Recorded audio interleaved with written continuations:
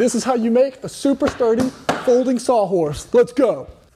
Cut five 32 inch pieces with a 15 degree angle on both ends. Except for the last one, which is just flat. Cut your two 23 inch pieces. Take two of your four pieces with an angle on it, put the angle facing down, put a hinge. Take your last piece, make sure the corners of these two are touching. Grab your two 23 inch pieces and drill you a little pilot hole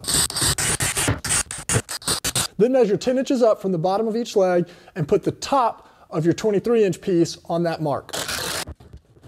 Now take your 32 inch piece that has straight edges on both sides and then choose one of the two sides of the sawhorse and put the screws only in that side. Then we're gonna cut a piece of plywood to fit in this area, so we need 15 and a half inches by a little bit less than 23. Cut it right down the middle lengthwise. Now you're just gonna attach some hinges on both sides. Lastly, take your two strips and attach those put at least one more hinge on the bottom. And boom, there you have it.